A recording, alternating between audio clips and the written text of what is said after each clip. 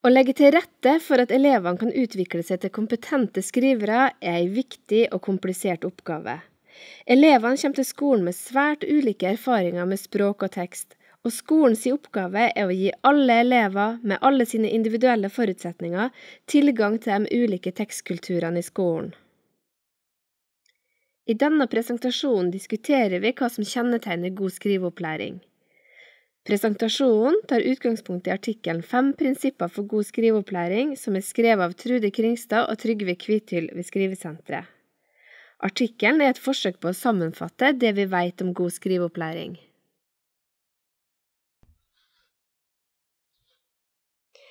Vi skal nå ta for oss det første prinsippet.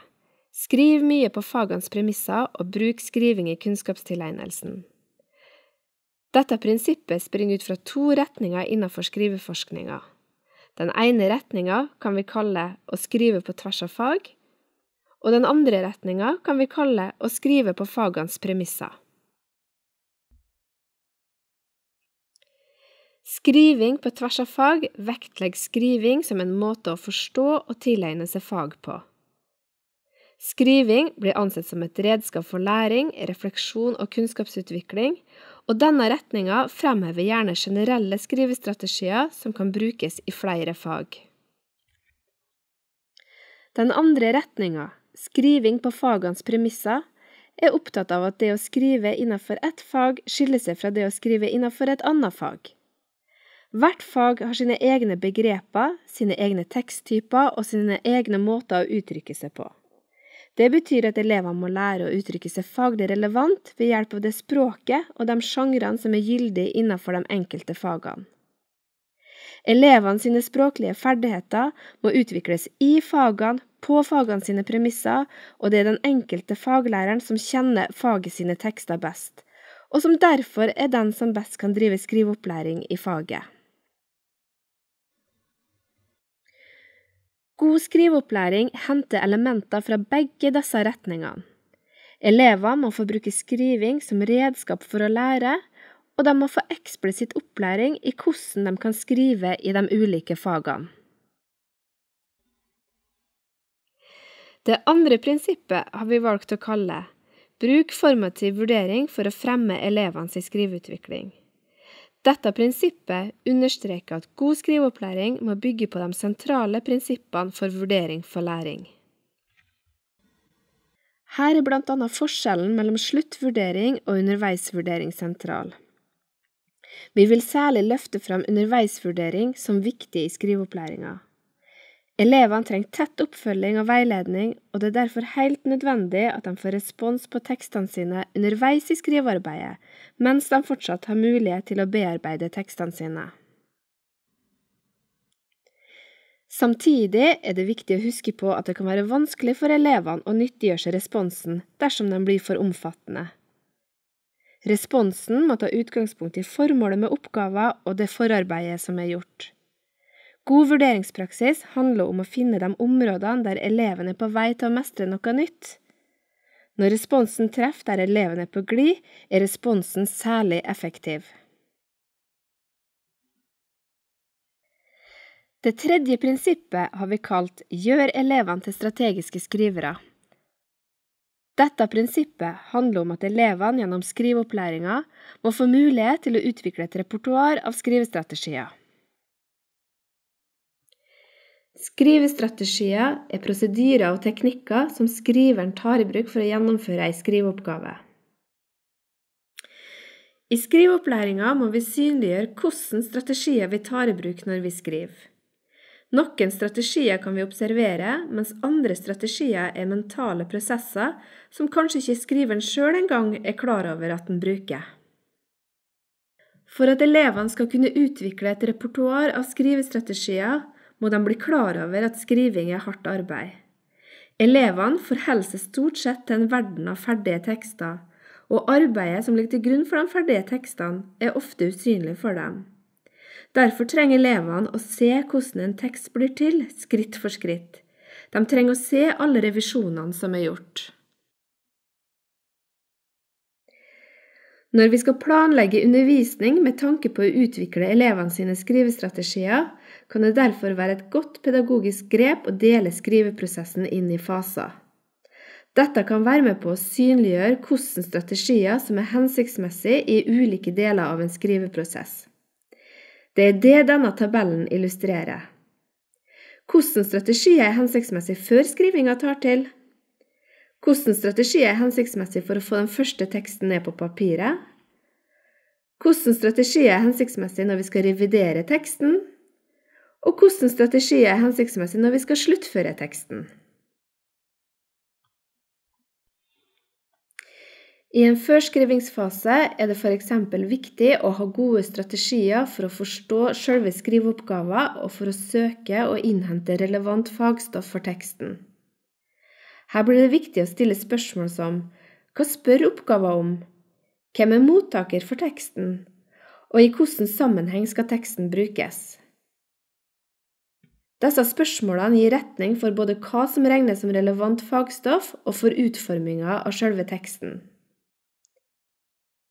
Skrivetrekanten illustrerer nettopp dette forholdet mellom form, innhold og mottaker og skrivetrekanten er nyttig for å avklare ulike skrivesituasjoner i skolen. Forskning har vist at det ligger et potensial i å understreke formålsaspektet. For at skrivinga skal oppleves som meningsfull, må elevene vite hvorfor de skriver tekstene, og hva tekstene skal brukes til. I skrivefasen handler det om å ha strategier for å få den første teksten ned på papiret, og å komme i gang med skrivinga. For noen elever kan tenkeskriving være en god strategi, for andre er det å lage disposisjoner nyttig. Noen elever syns kanskje det å skrive den første teksten sammen med andre er den beste måten å komme i gang på. Poenget er at elever må få erfaring med ulike strategier, slik at de senere kan benytte seg av de strategiene de sjøl opplever som mest nyttig i skrivearbeidet.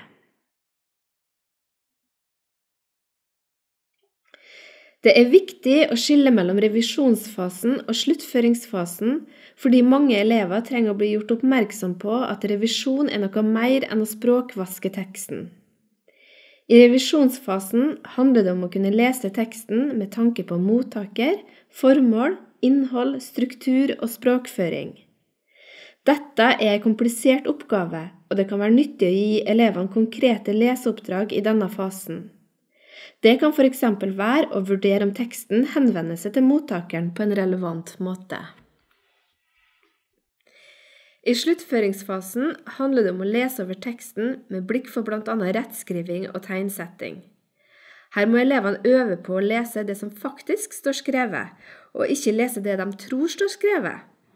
Det å lese teksten høyt, lese ei og ei setning eller å lese teksten bakfra kan være gode strategier i denne fasen.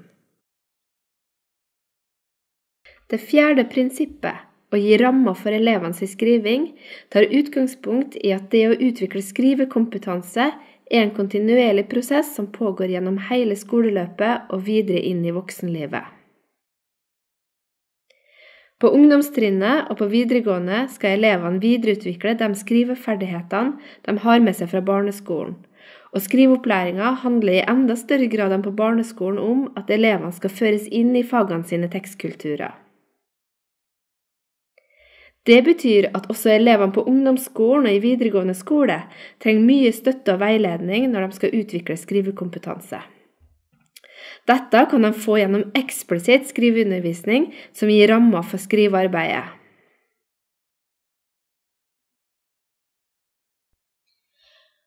Å gi rammer for skriving handler med andre ord om å bygge stillaser for skrivinga. Dette kan vi gjøre gjennom tre element – dialog, modelltekster og skriverammer. Dialogen, samtalen om tekst og skriving, gir viktig støtte til elevene. Gjennom samtalen settes det ord på sentrale sider ved teksten, og samtalen er med på å gi lærer og elever et metaspråk, et felles språk om tekst og skriving. Dette metaspråket er en nødvendig og viktig forutsetning for å sikre felles forståelse om hvordan tekster blir til. Et felles språk om tekst er nødvendig for at læreren skal kunne gi konkret og meningsfull tilbakemelding på elevtekstene, og for at elevene skal kunne forstå og nyttiggjøre seg responsen. Dialogen om tekst og skriving vil ofte ta utgangspunkt i en eller flere modelltekster. For at modelltekster skal kunne fungere som stillas for elevenes skriving, er det viktig at de ikke bare deles ut, men at de brukes. Ved bruk av modelltekster mener vi her at lærer og elever sammen går grundig inn i tekstene og ser på de språklige og strukturelle valgene som er gjort. Tekstene diskuteres med utgangspunkt i formål, tekstoppbygging og typiske kjennetegn ved tekstene. Det handler om å avsløre forfatterhåndverket. Rammer for skriving kan også handle om at en gir elevene konkrete skriverammer i form av skjema og startsetninger. Disse rammene bryter ned teksten i mindre og mer håndterbare deler, og gir elevene et overblikk over hvordan teksten kan se ut til slutt. Det siste prinsippet, prinsipp fem, har vi valgt å kalle Skap et klasserom der en diskuterer tekst og skriving. Dette prinsippet er på mange måter en forutsetning for de andre prinsippene. Skal vi få til en skriveopplæring der elevene utvikler gode skrivestrategier, og der vi bygger stillaser og er tett på elevene og veileder dem gjennom skriveprosessen, er vi avhengig av å gjøre klasserommet til et sted der tekst og skriving løftes fram i alle fag. Studier viser at de lærerne som lykkes best med skriveundervisninga si, er lærere som legger til rette for en kontinuerlig samtale om skriving og om tekster. Med utgangspunkt i elevene sine egne tekster stiller læreren spørsmål som Hva er det som gjør denne innledninga så god? Hvordan ord skaper sammenheng i teksten? Hvordan henger innledning og avslutning sammen? Prinsipp 5 understreker hvor viktig det er å skape en slik kultur for skriving i klasserommet. Det handler rett og slett om å sette skriving på dagsorden.